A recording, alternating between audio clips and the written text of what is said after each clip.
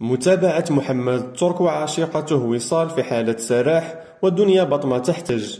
قرر قاضي التحقيق قبل قليل من يومه الأربعاء 26 أكتوبر الجاري متابعة محمد ترك زوج الفنانة دنيا بطمة وعشيقته وصال وشخص ثالث في حالة سراح.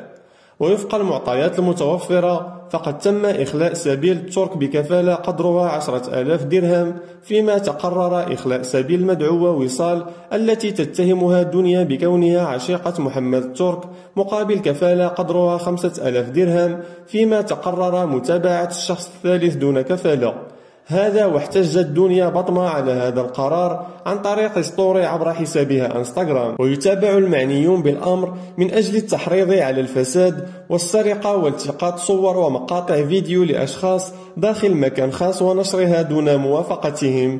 ويشار إلى أن دنيا بطمة وضعت صبيحة اليوم شكاية مباشرة جديدة لدى وكيل الملك بابتدائية مراكش.